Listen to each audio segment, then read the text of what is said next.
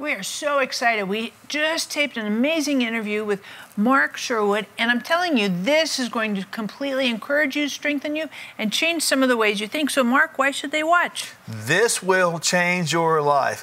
Power packed segments here.